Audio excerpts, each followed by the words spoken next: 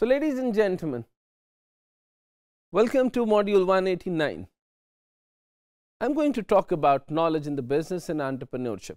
As I talked about the knowledge in the last uh, lesson, which is about the direction of the knowledge which comes from the wisdom rather information or the data.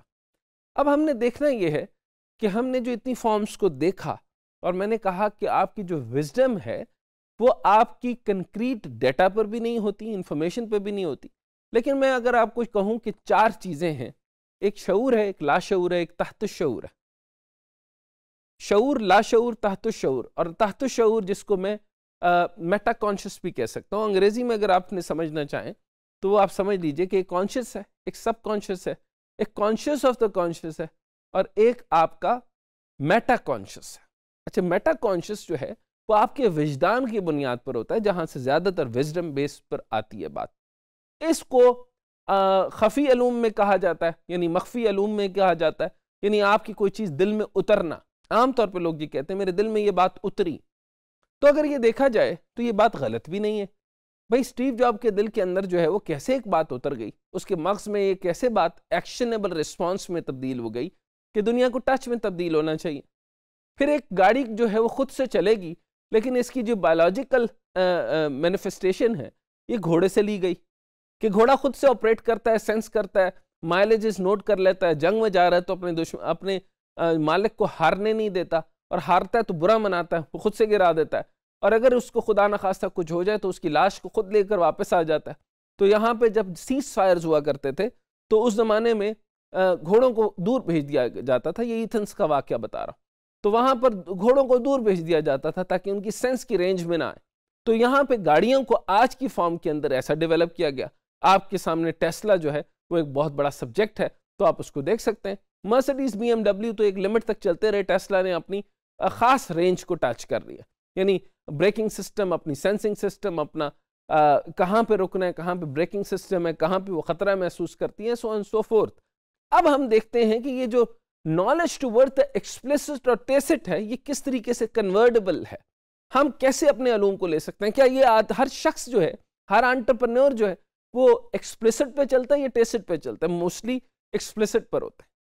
लेकिन आमतौर पर जो कि नई तब्दीलियाँ और innovation pure innovation लेकर आता है, वो हकीकत और इल्म हकीका, या अगर आप इसको कह लें, अगर इसको बहुत ही ज़्यादा इल्म, मैंने जैसे कहा हक्कुल यकीन यानी एक ऐसी रियलिटी को आप देख चुके हो अपनी गैब की आँख से तो फिर आप कह सकते हैं कि ये इंट्यूटिव नॉलेज की बेस पर है। अगर हम इसको अंडरस्टैंड करने की कोशिश करें the utilization of this knowledge Ambrosini और Bowman in 2001 tacit knowledge, which is embodied, intimate and subjective and represented through our cognitive abilities, यही मैंने अर्ज़ किया आपसे।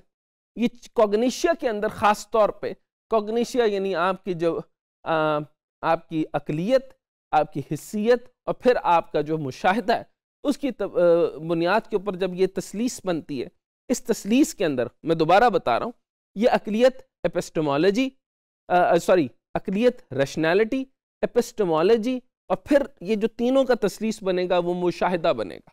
मुशाहिदा जब बनता है तो या तो एक नॉर्मल डाटा की बुनियाद पे बनेगा या इंफॉर्मेशन की बुनियाद पे बनेगा और या विजडम की बुनियाद बनेगा, लेकिन तसलीस एक ही रहेगी।